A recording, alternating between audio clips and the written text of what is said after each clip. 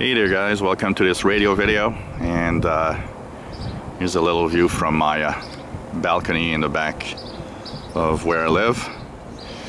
And uh, well you all probably have seen that this little wire here that you uh, should see right here is basically what I was using as an antenna goes to the tree I've uh, decided to try something new today so for a few days I'm going to actually I've put the wire here going there.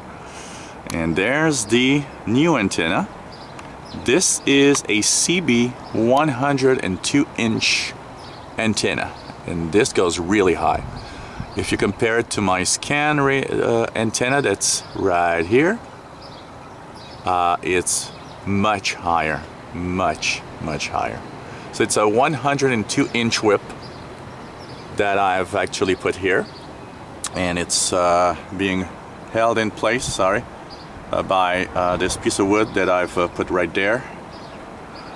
And I'll be trying out that whip for a few days. Um, it's going to be my main antenna and I'm gonna check for uh,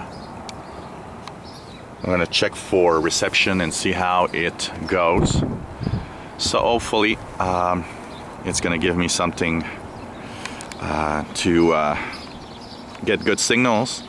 Uh, first tests are going to be made. I took some measurements of the wire antenna here uh, and uh, of, of uh, standard signals and of the noise levels at the different frequencies.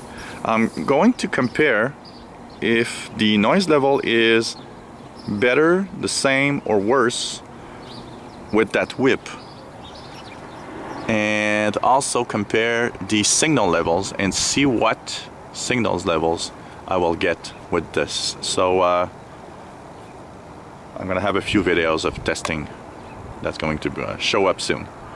So uh, enjoying this uh, very very nice spring-like day today before we're getting back into a very deep freeze again. So it's about two or three degrees Celsius above zero today, but uh, we're supposed to go back to uh, minus 20s by the end of the week.